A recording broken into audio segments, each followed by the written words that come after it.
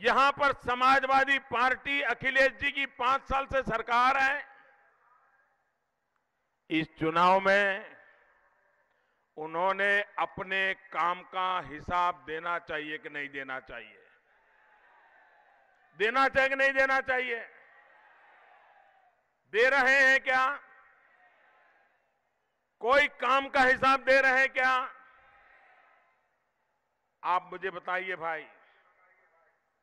आज मैं यहीं से लखनऊ जाने को तैयार हूँ। मैं अखिलेश जी को कहता हूँ, आप भी लखनऊ आइए। हम दोनों लखनऊ के मेट्रो स्टेशन पे जाएँ, टिकट खरीदें और दोनों जाकर के मेट्रो में जरा सफ़र करके आए। आपने उद्घाटन किया था ना? गाजे बाजे के साथ उद्घाटन किया था ना?